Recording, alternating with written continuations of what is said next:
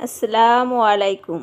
আজ আমি আপনাদের তৈরি করে দেখাবো নতুন আলু দিয়ে গরুর মাংস রেসিপি। তেল দিব।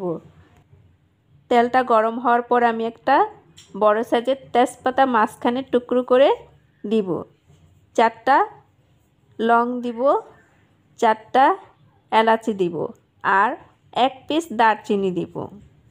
দিয়ে আমি এক থেকে দুই মিনিটের মতো তেলের মধ্যে ভেজে নিব। ভেজে নেওয়ার পর আমি আগে থাকতে কুচি করে রাখা পেস্ট কুচি এখানে দিব এক কাপ। পেস্ট কুচিটা দেওয়ার পর আমি একটা চটা দিয়ে নেড়ে হালকা বাদামি কালার করে পেঁয়াজগুলো আমি ভেজে নিব। দেখেন আমার পেঁয়াজগুলো ভেজে নেওয়া হয়েছে হালকা বাদামি কালার করে। এবার আমি অল্প পরিমাণে পানি দিব মশলাটাকে কষিয়ে নেওয়ার জন্য। আমি হলুদ দিব দেড় চামচ। মরিচ দিব দুই চামচ। ঝালটা আপনাদের স্বাদ অনুযায়ী কম বেশি করে নিতে পারেন। ধনিয়ার গুঁড়ো দিব এক চামচ। টালা জিরে গুঁড়ো দিব এক চামচ। পরিমাণ মতো লবণ দিব।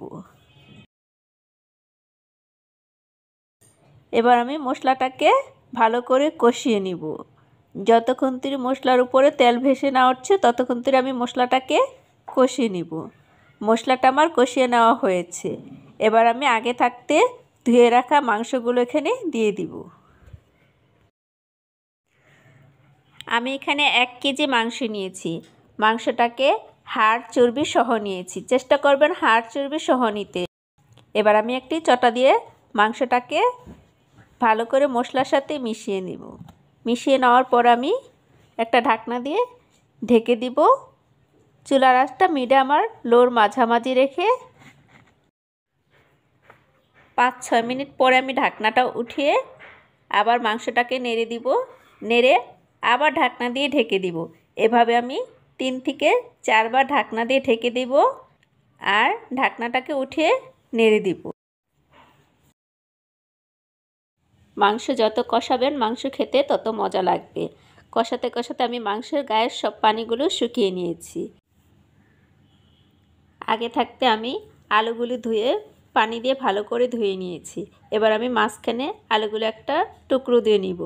আমি এখানে আলুর পরিমাণটা একটু বেশি নিয়েছি, কারণ নতুন আলু খেতে ভালো লাগে মাংস দিয়ে, তাই আমি বেশি দিয়েছি। আপনারা চাইলে একটু কম বেশি করে আলুটা নিতে পারেন। এবার আমি আলুগুলো মাংসের মধ্যে দিয়ে ভালো করে কষিয়ে নিব। চুলার আঁচটা এ পর্যায়ে মিডিয়াম আর লোর মাঝামাঝি রেখে আমি আলু দিয়ে আরও দশ থেকে পনেরো মিনিটের মতো মাংসের সাথে আলুটাকে কষিয়ে নিব।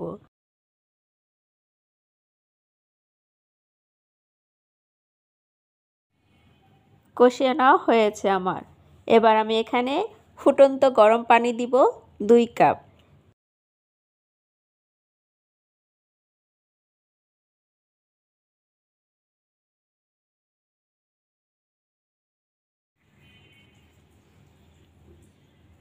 এবার আমি একটা চটা দিয়ে নেড়ে দিব।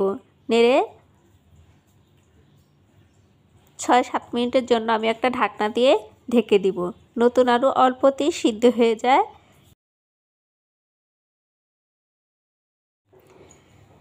দশ মিনিট পরে আমি ঢাকনাটা উঠিয়ে আপনাদের একটা আলু কেটে দেখাচ্ছি। দেখেন আমার আলুটা সিদ্ধ হয়েছে। যদি আমার রেসিপিটা ভালো লাগে, তাহলে প্লিজ সাবস্ক্রাইব করবেন।